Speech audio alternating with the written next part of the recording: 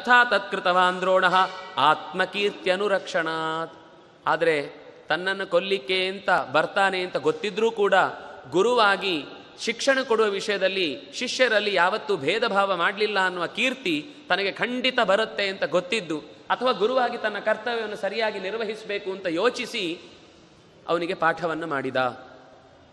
ಗುರು ಸ್ಥಾನವನ್ನು ಹೇಳುವಾಗ ಶಿಷ್ಯಾದಿಚ್ಛೇತ್ ಪರಾಜಯಂ. ನಿಜವಾದ ಗುರು ಯಾರು ಅಂದರೆ ಶಿಷ್ಯ ತನಕ್ಕಿಂತ ಬೆಳೀತಾ ಇದ್ದಾನೆ ಅಂದರೆ ಯಾರು ಸಂತೋಷ ಪಡ್ತಾನೋ ಅವ್ನು ನಿಜವಾದ ಗುರು ಅಂತ. ಇವತ್ತು ಹಾಗಾಗುದಿಲ್ಲ.